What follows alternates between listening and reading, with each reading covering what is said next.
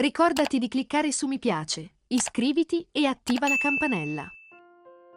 Il 12 giugno è una data che è entrata ufficialmente nella storia italiana politica e non solo, quella del decesso di Silvio Berlusconi. Nei giorni passati molti VIP e non solo hanno condiviso dei ricordi cari legati all'ex presidente. E così anche Alfonso Signorini si è lasciato andare con una confessione intima su Silvio. Era Alfonso Signorini Silvio Berlusconi era come un padre, lo ha raccontato più di una volta, anche su Instagram nel giorno in cui fu annunciata la morte del cavaliere. Aveva condiviso una foto in cui era ad Arcore, seduto su uno dei divani di Berlusconi, insieme a Paolo Berlusconi, Mara Veniere e Marina Berlusconi.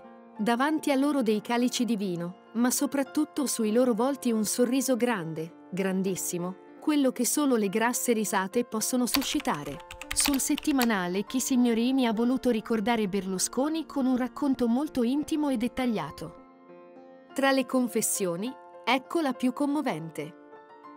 Berlusconi gli fu vicino sia quando morì suo padre, sia quando morì sua madre.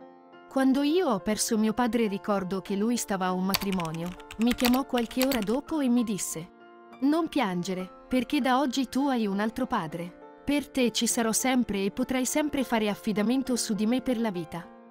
Ha mantenuto le sue promesse, fino all'ultimo. Come un padre è stato presente, vigile, affettuoso nei momenti belli della vita e in quelli più tristi. Nel suo post toccante si legge, Oggi ti voglio ricordare così.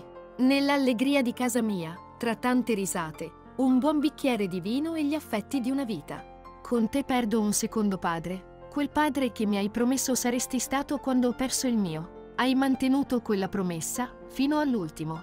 Grazie Presidente. Sempre con te.